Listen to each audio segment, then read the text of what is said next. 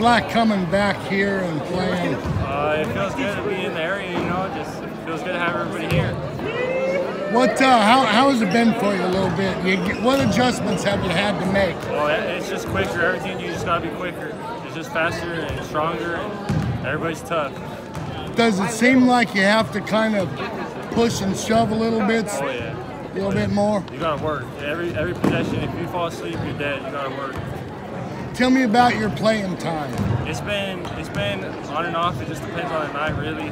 Who's hot, it's whoever's hot and whoever the matchups are. Sure.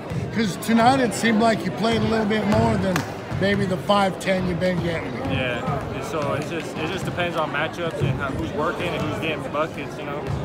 Um, Are you a defensive guy? Is that kind of your job on this Walla Walla team? Or Well, our coach, he just he says we shoot and we play D, and that's that's what everybody's got to do. If you're on the court, you got to shoot good, and you got to play D hard.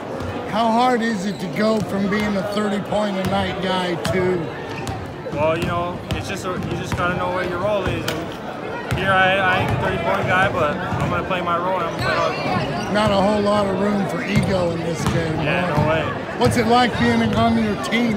Um, you know, and, and guys from all over the Oh, country. it- it's awesome. Everybody, everybody's uh, just they're super nice, and I love my team. They're really cool. They're great guys. What? Uh, one last thing, having the party bus from Othello come Oh, here. it's awesome. I, I love my coach, my old coach, bro, and I love all these guys. It's, it's cool to see them and stuff. I haven't seen a lot of them in a long time, and it's just awesome to, to be in the area. Thanks.